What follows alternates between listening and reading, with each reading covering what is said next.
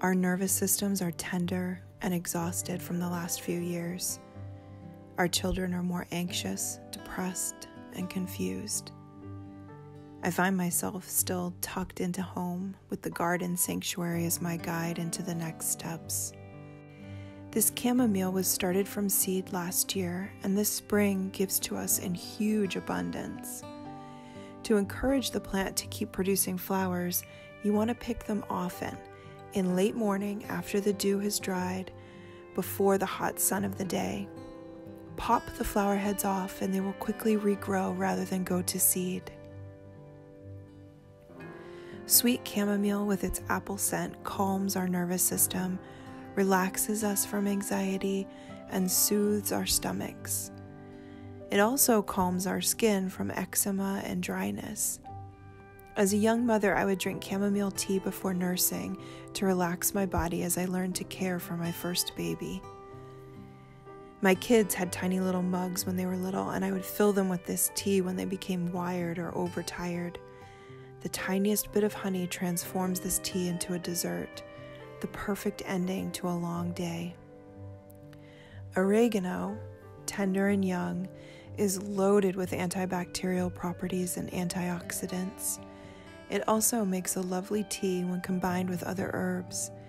I pinch the tops, which also encourages the plant to fill out and keep producing leaves.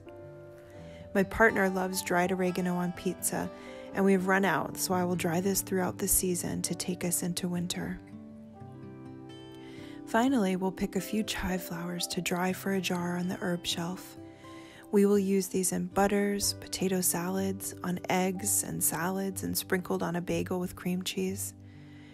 There will also be chive vinegar made from the fresh flowers infused into white wine vinegar for salads.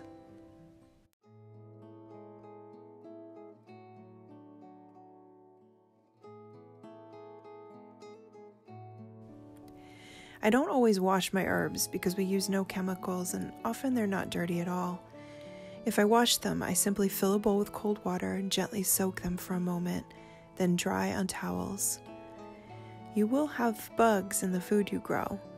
Laying the plants on the towels allows the bugs to have a chance to leave and find new homes, and you can do this step outside in the shade for about 30 minutes if you like. This potager garden is being designed for healing and natural support. I think about the needs of my family and go listen to the plants. It has taken me a couple years of working with some plants to understand them and use them. The most important thing is to simply plant them. Herbs can be dried in a dehydrator or left out to air dry for a few days. Once they are dry, store in glass jars, label with the date, and keep out of direct sunlight. I use masking tape and add any other information I might want to have, like if it was a full moon or new moon harvest, so I can be aware of the energy. This simple, tender act of making home resets our nervous systems, connects us to the earth and soil, and provides healing for our body, mind, and soul.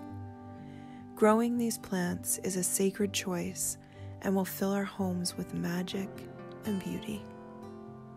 As always, thank you for being here. I appreciate you.